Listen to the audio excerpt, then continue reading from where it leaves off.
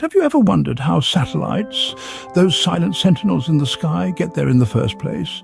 Today, we'll pull back the curtain on the awe-inspiring world of rocket launches and satellite deployments. We'll take a deep dive into the science behind these titanic feats of engineering and how they defy Earth's gravity to reach the vast expanse of space. So strap in as we prepare to launch into this exciting exploration. Get ready to ignite your curiosity. Rockets start their journey on the launch pad, powered by immense engines. These aren't your ordinary engines, mind you. Imagine the force of a thousand sports cars, all pushing in one direction. That's the kind of power we're dealing with here. It's a titanic battle between the rocket and Earth's gravity. A tug of war where the rocket is desperately trying to break free from the chains of our planet. Now you might be wondering how exactly does a rocket do this? Well, that's where the concept of thrust comes into play. Thrust is the force that propels the rocket upwards. You can think of it as the rocket's best friend, helping it to rise against the formidable force of gravity. It's like trying to push a boulder uphill. The more force you apply, the faster you can push it. In rocket science, this force is provided by the fiery expulsion of gases from the rocket's engines.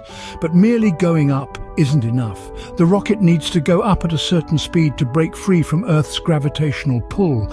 This speed is known as the escape velocity. It's like running so fast on a treadmill that you eventually fly off it. For a rocket, that's the goal, to fly off the Earth's gravitational treadmill. So, in essence, the launch of a rocket is a drama of power and speed, a grand performance where the leading roles are played by the engines and the fuel they burn. The key is generating enough thrust to reach the escape velocity, the speed needed to break free from Earth's gravitational pull. As the rocket ascends, it goes through stages, each of these stages is a distinct part of the journey, a calculated step in the grand dance of defying gravity. Picture it as a multi-stage firework, where each burst propels the rocket further and faster, driving it towards the stars. The first few stages of the rocket are primarily concerned with escaping the densest part of Earth's atmosphere. They burn their fuel at an astonishing rate, generating enough thrust to lift the rocket, its payload, and all the fuel needed for the journey. Once their fuel tanks are empty, they've served their purpose. They detach and fall back to Earth, lightening the load for the remaining stages.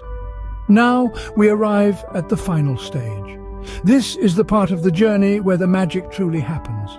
The rocket is now high above the Earth, where the air is thin and gravity is weak. The final stage has one job and one job only, to achieve orbital velocity. Orbital velocity is a fancy way of saying the speed required to keep the rocket moving in a circular path around the Earth. Instead of falling back down or shooting straight off into space, it's a delicate balance, a sweet spot between too slow and too fast. The final stage is crucial as it needs to achieve orbital velocity, the speed required to enter and stay in orbit around Earth. It's the culmination of years of planning, months of calculations and minutes of heart-stopping action. And when it's done right, it's nothing short of spectacular. Once the desired orbit is reached, it's time for the satellite deployment. This is the moment when the satellite, after hitching a ride with the rocket, separates and begins its own independent journey in the vast expanse of space. Picture it as a passenger disembarking from a vehicle ready to explore new horizons. The separation process is a finely tuned ballet, executed with precision to ensure the satellite is released at the correct angle and velocity. It's crucial that the satellite embarks on its path without colliding with the rocket or any other space debris. And once the separation is successful, the satellite is on its own, ready to carry out its mission, be it weather monitoring, communication or scientific exploration. Now, the satellite doesn't just float aimlessly in space, it starts orbiting the Earth, bound by the invisible strings of gravity. You might wonder how it manages to stay in orbit without falling back to Earth. Well, that's the magic of orbital mechanics. The satellite is essentially falling towards the Earth due to gravity. But here's the twist. It's also moving forward fast enough to miss it. Imagine throwing a ball so hard that it keeps missing the ground. That's what's happening with the satellite. It's a delicate balance between the satellite's velocity, its speed in a given direction, and the pull of Earth's gravity. Satellites stay in orbit due to the balance between their velocity and Earth's gravity, constantly falling towards Earth but never actually reaching it because of their forward motion. Understanding orbits is all about balance. Just like a tightrope walker, a satellite must maintain a perfect equilibrium to stay aloft. But instead of balancing on a rope, satellites balance between two forces, velocity and gravity. Imagine a satellite moving in a lower orbit. Here, Earth's gravitational pull is stronger, so the satellite needs to move at a faster speed to stay in orbit. It's akin to a sprinter running fast on a short track.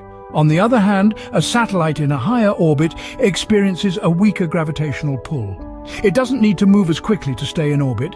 It's more like a marathon runner pacing themselves for a long race.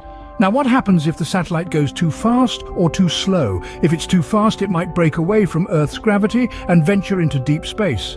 If it's too slow, Earth's gravity might pull it back, causing it to plummet towards the Earth. So, it's a constant game of push and pull. The satellite falls toward Earth under gravity, but its forward motion keeps it falling over the horizon. This creates the circular or elliptical path we call an orbit. This delicate dance between speed and gravity is what keeps satellites in orbit, providing us with essential data and services. Whether it's for communication, navigation or weather forecasting, the science behind orbits plays a crucial role in our daily lives. So, there you have it. We've journeyed from the launch pad to the vast reaches of space, understanding how rockets defy gravity, how they reach orbit, and the delicate dance of speed and gravity that keeps satellites in their paths. It's a marvel of human achievement, a testament to our thirst for knowledge and our ability to push boundaries. The incredible journey of rockets from Earth to orbit is a testament to human ingenuity and the fascinating laws of physics. Thanks for joining us on this cosmic adventure.